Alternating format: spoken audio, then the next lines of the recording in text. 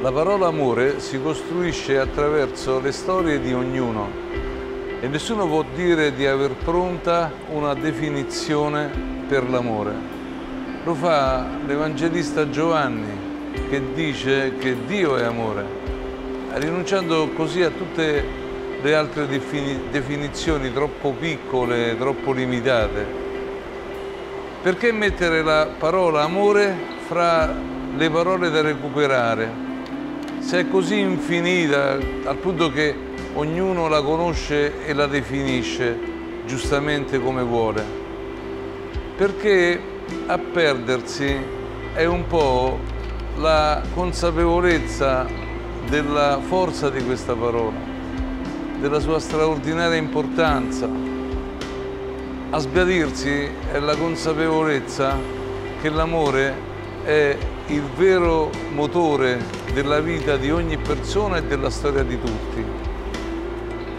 Anche se tutti ci troviamo ad amare, non sempre ci fidiamo dell'amore, un po' spaventati dalla consapevolezza che amare è dimenticarsi di sé, regalarsi, qualche volta è soffrire. Eppure ho trovato scritto, chi ha amato avrà magari i capelli in disordine, il corpo segnato dalle ferite, gli abiti a brandelli, ma potrà dire a testa alta, con fierezza, io ho amato. Le uniche storie che vale la pena di raccontare della nostra vita e di quella degli altri sono quelle che possono concludersi con questa consapevolezza e confessione io ho amato. Le uniche coscienze in pace sono quelle che possono riconoscere di aver amato.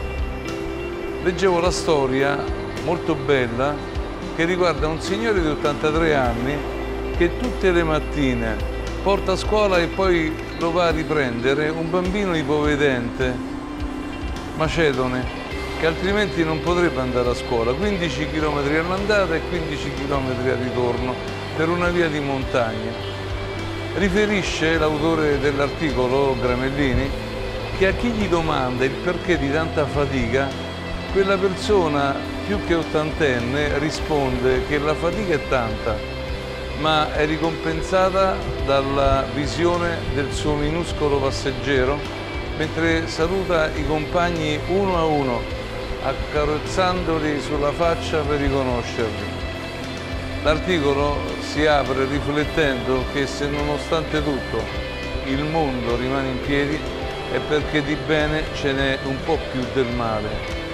Magari amare è anche questo, metterci un po' più di bene. È debole l'amore e per questo forse uno dei suoi simboli più potenti è la croce è potente l'amore.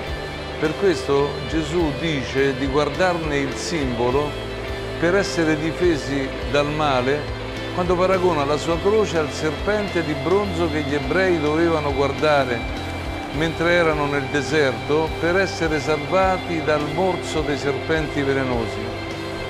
Di deserti e di serpenti velenosi sono pieni i paesaggi del mondo e sembrano essere prevalenti. Basta non perdere di vista i segni dell'amore per renderli meno aggressivi e definitivi. Non si tratta di trovare altre definizioni dell'amore. Ce ne sono tantissime e tutte belle e tutte vere, perché tutte nascono da vite vere. Ma di trovare fiducia nell'amore, di questo si tratta. Di alzarsi presto per aiutare, di non riuscire a dormire per la pena, di inventarsi l'impossibile, di considerare niente la propria vita e considerare un bene straordinario quella degli altri, di affrontare un sacrificio e pensare che questo basta per arginare il male, di questo si tratta e di tanto altro, perché tutto passa, quello che resta è l'amore.